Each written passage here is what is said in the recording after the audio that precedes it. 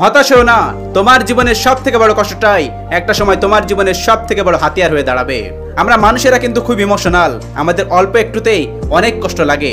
পৃথিবীর অন্যান্য প্রাণীগুলো আছে, তারা বিশ্বস্ত, কিন্তু আমরা হলো ইমোশনাল আমাদের কোনো কিছুতেই কষ্ট হয়, আমরা কোনো কিছুতে ভেঙে পড়ি। আমাদের মনে হয় যে না, আর কিছু রাখব না, এই দুনিয়ায় বেঁচে থেকে লাভ কি? আমরা এরকম কিছু ধারণা করি। দেখেন, একটা মানুষ একটা কথা বলতেই পারে, একটা খারাপ দিক নিয়ে কথা বলতেই পারে। তাই বলে যে, আমার কষ্ট পেতে হবে বা আমার শেষ হয়ে যেতে হবে, এর কিন্তু কোনো মানে নেই। আমাদের জীবনটা সবার কাছে খুব সিম্পলভাবে তুলে ধরেছি, এজন্যই এত সমস্যা। কিন্তু আপনি যে একটা মানুষ একটা মানুষ কিন্তু অনেক কিছু করতে পারে। কিন্তু আপনি সেই মানুষটা, যে মানুষটা অনেক কিছু করে দেখানোর ক্ষমতা রাখেন, সেই মানুষটা আপনি কোন একটা মানুষের কাছে খুব নিঃসুপভাবে আপনার মনের কথাগুলো শেয়ার করে ফেলেছেন, এজন্যই এত কষ্ট হতে পাচ্ছেন, এজন্যই আপনার মনে এত কষ্ট, কোনো কথাতে আপনার কষ্ট ভিতরে চলে আসে। আর এই যে একটা কথা বললাম, আমরা ইমোশনাল আমরা ইমোশনাল ভেসে বেড়াই সেজন্য আমাদের ভিতরে কোনো কথাতেই কষ্ট লাগার সৃষ্টি হয়। আমাদের খুব কাছের যে আপন মানুষগুলো আছে, যে আপন মানুষগুলো যদি সামান্য কোনো কথা বলে, কোনো কটু কথা বলে, তারপর আমাদের খারাপ লাগা সৃষ্টি হয়। কেন জানেন? কারণ আমরা সেই মানুষগুলোকে প্রচণ্ড ভালোবাসি। যে মানুষটাকে আপনি প্রচণ্ড লেভেলে ভালোবাসবেন, সেই মানুষটা যদি সামান্য একটা কথা বলে, যে তুমি এই কাজটা করলা? এটা বললেও আপনার খারাপ লাগা সৃষ্টি হবে। এই সামান্য সামান্য চিলি কথাগুলো আমরা এত বড়ভাবে নিয়ে ফেলি যে আমাদের জীবনে কষ্ট নেমে আসে। এই কষ্ট জিনিসটা কিন্তু খুব সাময়িকের জন্য। এই পৃথিবীতে দুইটা জিনিস খুবই সাময়িক, সুখ এবং দুঃখ।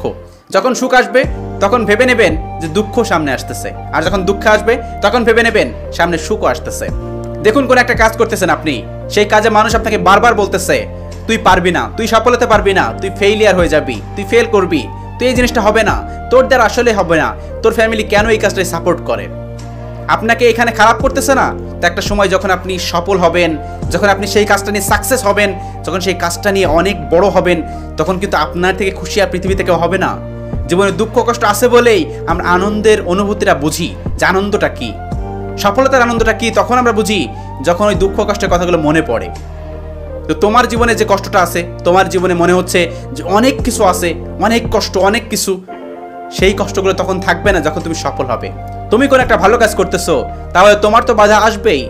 ডান দিক দিয়ে, বাম দিক দিয়ে, পিছন থেকে, সামনে থেকে, এমনকি আপন জনেরাও বাধা দেওয়ার চেষ্টা করবে। থেমে থেকো না। তোমার জীবনের এখন যে কষ্টগুলো হচ্ছে, এই কষ্টগুলো একটা সময় তোমার জীবনের সব থেকে বড় হাতিয়ার হয়ে দাঁড়াবে। কেউ তখন সামনে দাঁড়াতে পারবে না। জীবনে রুখে দাঁড়াও। অনেক মানুষ কিন্তু অনেক কথা বলছে, আমরা আজকে গরিব বলে, আজকে আমাদের টাকা নেই বলে, আজকে আমরা অনেকটা দুর্বল হয়ে পড়েছি। এই দুর্বল হয়ে থেকো না, কোন একটা কাজ করো। সৃষ্টিকর্তা বলেছেন, তুমি কাজ করো, তোমার ভাগ্য পরিবর্তন করে দিবেন তিনি। সেজন্য তুমি লেগে পড়ো। আজকে যদি আমি বাসায় ঘুমিয়ে থাকি যে সৃষ্টিকর্তা আমার খাইয়ে দেবে, খাইয়ে কি দিবে? না। আমার কর্মের একটা ওসিলায় বেরোতে হবে। তিনি আমার কর্ম নির্ধারণ করে রেখেছেন, যে কর্মটা আমার হবে, তা আমার তো বেরোতে হবে। আমি না বেরোলে আমার কর্মটা হবে কি করে? আমি কীভাবে খাব? এই জন্য কষ্ট করতে হবে, চেষ্টা করতে হবে। আশেপাশে, ডানে, পিছনে অনেক বাজে কথা বলবে, অনেক খারাপ কথা বলবে বাট ডোন্ট কেয়ার জীবনটা তোমার।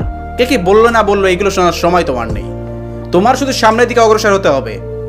পিছনে কে কি বলল না বলল সেই দিকে যদি তাকাও, পিছনে তোমার কুকুর ডিল মারতেছে। এই পিছনে যদি কুকুরের দিকে তুমি তাকাও, তাহলে তোমার সম্মানটা তুমি কোথায় যাবা? তুমি তো এক পা পিছিয়ে যাচ্ছ। পিছিয়ে যেও না, সামনের দিকে তাকাও। সবসময় সামনের দিকে চলো, অগ্রসর সামনের দিকে, পিছনের দিকে না। এমনভাবে যাও, যেন স্লিপ না কাটে। আস্তে আস্তে যাও, ক্ষণে ক্ষণে যাও। আমরা অনেকে চিন্তা করি যে খুব দ্রুত সফল হয়ে যাব।